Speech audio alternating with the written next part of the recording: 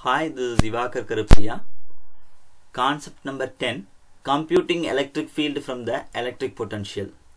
Electric ஃபீல்டிலிருந்து electric பொட்டன்ஷியலை கண்டுபிடிக்கணும் இப்போ யார் ரெண்டு பேரை ரிலேட் பண்ண போகிறேன்னா எலக்ட்ரிக் ஃபீல்டையும் எலக்ட்ரிக் பொட்டன்ஷியலையும் ரிலேட் பண்ண போகிறேன் ஏன் இதை திருப்பி குறிப்பாக சொல்கிறேன்னா எலக்ட்ரிக் ஃபீல்டு அப்படிங்கிறது it's a vector quantity but electric potential அப்படிங்கிறது ஸ்கேலார் குவான்டிட்டிங்கிறது நமக்கு நல்லா தெரியும் ரைட் அப்போ ஒரு வெக்டரையும் ஸ்கேலாரையும் எப்படி ரிலேட் பண்ணுறது அப்படிங்கிறத முதல்ல பார்ப்போம்.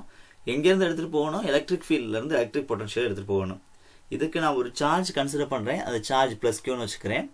ஃபஸ்ட்டு ஏங்கிற பாயிண்ட்டை கன்சிடர் பண்ணுறேன் ஏங்கிற பாயிண்ட்டில் இருக்க பொட்டன்ஷியல் வி அடுத்து இந்த ஏக்கும் பிக்கும் ஏன்னா ரெண்டு பாயிண்ட் இருந்தால் தான் பொட்டன்ஷியல் டிஃப்ரென்ஸ் கண்டுபிடிக்க முடியும். இல்லையா? அதனால நான் இந்த கன்சிடரேஷனுக்கு முதல்ல வர்றேன்.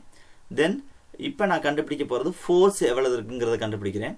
அப்போ ஏன் ஃபோர்ஸ் கண்டுபிடிக்கணும்? ஃபோர்ஸை வச்சு தான் நான் ரிலேட் பண்ண போகிறேன் யார் ரெண்டு பேரையும்? எலக்ட்ரிக் ஃபீல்டையும் எலக்ட்ரிக் பொட்டன்ஷியலையும் அது எப்படி ஃபோர்ஸை வச்சு ரிலேட் பண்ணலாம் அப்படின்னு கேட்டால் நமக்கு என்ன தெரியும்? Force F is equal to Q times E அப்படின்னு தெரியுமா? இன் டேர்ம்ஸ் ஆஃப் பொட்டன்ஷியல் நம்ம என்ன சொல்லுவோம்? Work done divide by charge is equal to potential டிஃபரன்ஸ்னு சொல்லுவோம். இஸ் இட் ரைட் அப்போ ஒர்க் டன்னையும் நான் ஃபோர்ஸையும் ரிலேட் பண்ண முடியுமா? Work done is equal to work டன்னா என்னது? இப்போ எக்ஸாம்பிள் நம்ம வீட்டில் அம்மா வந்து எதையாவது ஒன்று எடுத்தா எடுத்தாங்க அப்படின்னு சொன்னால் சாப்பிட்ற இடத்துல தள்ளி விடுவோம் தெரியுமா? ஒரு ஃபோர்ஸ் அப்ளை பண்ணுறோம் அதை அப்ளை பண்ணோன்னே அந்த பொருள் என்ன ஆகுது? அங்கேருந்து இன்னொரு இடத்துக்கு டிஸ்பிளேஸ் ஆச்சு. இதுக்கு பேர் தான் ஒர்க் டன் அப்போ ஃபோர்ஸ் இன்ட்டு டிஸ்பிளேஸ்மெண்ட் அதுக்கு பேர் தான் என்னது?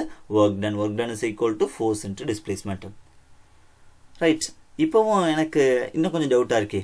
எலக்ட்ரிக் ஃபீல்டுக்கு டேரெக்டாக ஃபார்முலா இருக்குது force is equal to charge into electric ஃபீல்டுன்னு இருக்குது ஆனால் work done is equal to force into displacement சொல்கிறீங்க இப்போ அடுத்து அனதர் ஒன் ரிலேஷன் அந்த ரிலேஷன் தான் என்னது? Potential is equal to potential difference is equal to work done divide by charge இது நம்ம சொன்னது தான் ஆல்ரெடி சொன்னது. இப்போ நான் என்ன பண்ணுறேன்னா அங்கே கண்டுபிடிச்சேன்ல ஒர்க் டன் இங்கே இந்த பழசு இருக்குது பாருங்கள் பழசில் நான் என்ன பண்ணியிருக்கேன்னா ஒரு ஒர்க் டன் கண்டுபிடிச்சிருக்கேன். இந்த ஒர்க் டனுக்கு ஃபோர்ஸோட வேல்யூ இங்கே சப்ஸ்டியூட் பண்ணிட்டேன். டிஆர்னு இங்கே இருந்துச்சு. இந்த ஒர்க் டனையும் இந்த work டனையும் work done is equal to charge into potential இது பொட்டன்ஷியலில் வச்ச ஒரு ஒர்க் டனையும் ஈக்குவல் அப்படின்னு சொல்கிறேன் ரெண்டு ரெண்டு வேலையும் சமம் அப்படின்னு சொல்கிறேன் சமம்னா கியூ நாட்டும் கியூ நாட்டும் கேன்சல் ஆயிரும். Electric field E is equal to minus dV by dr அப்படின்னு எனக்கு கிடச்சிருச்சு. எப்போ எலக்ட்ரிக் ஃபீல்டுக்கும் பொட்டன்ஷியலுக்கும் ரிலேஷன் கேட்டாலும் இந்த ஃபார்மேட் உங்கள் மனசில் இருக்கணும்.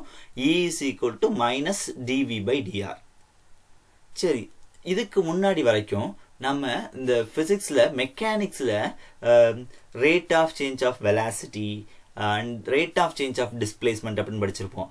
That means ds by dt d v by dt so ds by dt அப்படிங்கிறது change in displacement dV by டிடிங்கிறது change in velocity இங்கே கேபிட்டல் வி பொட்டன்ஷியலை மென்ஷன் பண்ணுறதுக்காண்டி போட்டிருக்கோம் ரைட் அந்த கீழே வந்துச்சுல கீழே வர்ற டேர்ம் அந்த டேர்ம் என்னவாக இருந்துச்சு? டிடின்னு இருந்துச்சு. அதாவது காலத்தை பொறுத்து மேலே இருக்கிற மேலே இருக்கிற எலமெண்ட் மாறுச்சு. ஆனால் இங்கே எது? டிஆர்னு சொல்லியிருக்கோம். டிஆர் அப்படிங்கிறது என்னது? இஸ் அ டிஸ்டன்ஸ் எலமெண்ட் டிஆர்ங்கிறது என்னது? டிஸ்டன்ஸ் எலமெண்ட் அப்போ டிஸ்டன்ஸை பொறுத்து யார் மாறப்போகிறா பொட்டன்ஷியல் மாறப்போகுது. எலக்ட்ரிக் ஃபீல்டு எதுக்கு ஈக்குவலாக இருக்க போது டிஸ்டன்ஸை பொறுத்து பொட்டன்ஷியல் மாறும் விகிதத்திற்கு ஈக்குவலாக இருக்க போது இந்த நெகட்டிவ் சைன் எதை சொல்லுதுன்னா ரொம்ப முக்கியமான பாயிண்ட் எலக்ட்ரிக் ஃபீல்டு எந்த டேரக்ஷனில் இருக்கோ அந்த டேரக்ஷனில் போச்சுன்னா பொட்டன்ஷியல் என்ன ஆகும் டிக்ரீஸ் ஆகும் அப்படிங்கிறத சொல்கிறதுக்கு தான் இந்த negative sign okay Thus, the electric field at any point is equal to the negative to the potential gradient at that point. The negative sign shows that the direction of the electric field in the direction of the decreasing potential. Moreover, the field in the direction there is a decrease is steepest.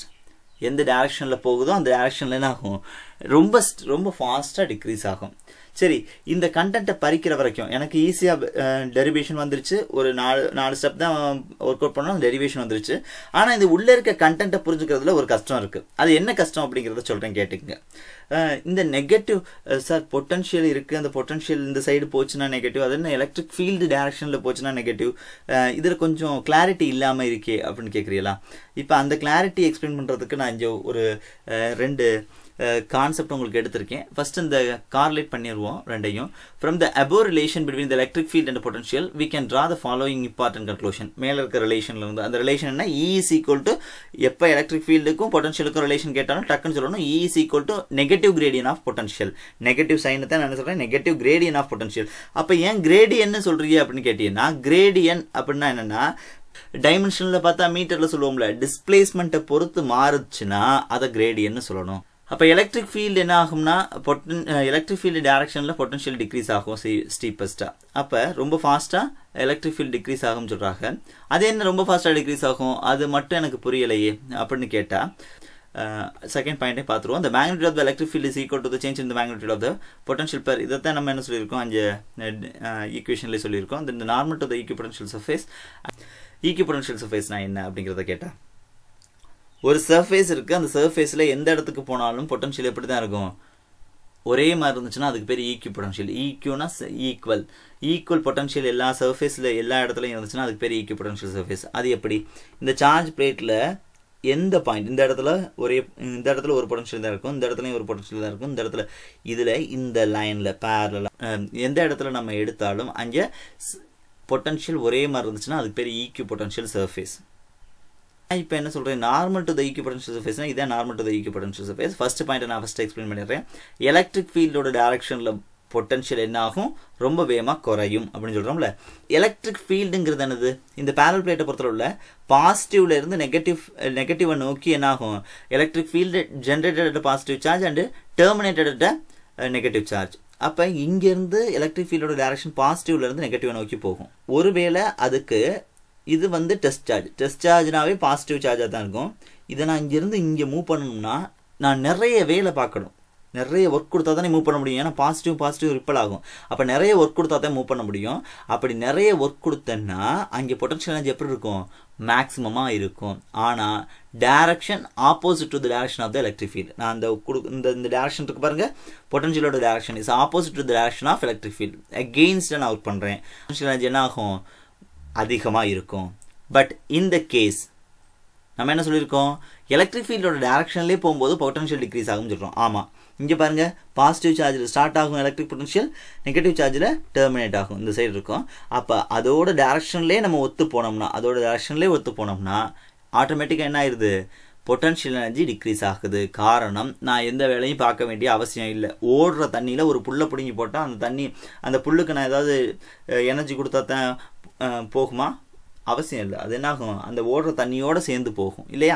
அதே மாதிரி தான் இதுக்கு என்ன ஆகும்? Potential குறைஞ்சிரும். Potential energy குறைஞ்சிருச்சுனாவே அது kinetic energy ஆட்டோமேட்டிக்காக போகிறது இன்கேஸ் இந்த ஓடுற தண்ணியில் நான் ஆப்போசிட்டாக அந்த ஒரு நான் உள்ளே வச்சுருக்க புல்லை அல்ல ஒரு கப்பல் செஞ்சு போடுறேன் அதை தள்ளணும்னா நான் என்ன பண்ணணும்? கண்டிப்பாக ஒரு எனர்ஜி கொடுக்கணும். அது ஒர்க் அதுதான் ஒர்க் அகெயின்ஸ்டாக நான் கொடுக்குற ஒரு எனர்ஜி அதுதான் பொட்டன்ஷியல் எனர்ஜின்னு சொல்லுவோம். இது உங்களுக்கு புரிஞ்சிருக்கும்னு நினைக்கிறேன்.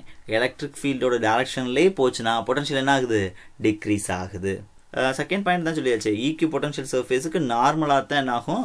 நார்மலாக இருக்கிறத தான் நம்ம எப்படி சொல்லுவோம்? The magnitude of potential per unit displacement or potential gradient அப்படின்னு சொல்கிறோம் எப்போ கேட்டாலும் டக்குன்னு மனசில் இருக்கணும். எலக்ட்ரிக் ஃபீல்டுக்கும் பொட்டன்ஷியலுக்கும் ரிலேஷன் சொல்லுன்னு சொன்னால் electric field is equal to negative gradient of potential இதுதான் இங்கே இருக்க கன்க்ளூஷன் தேங்க்யூ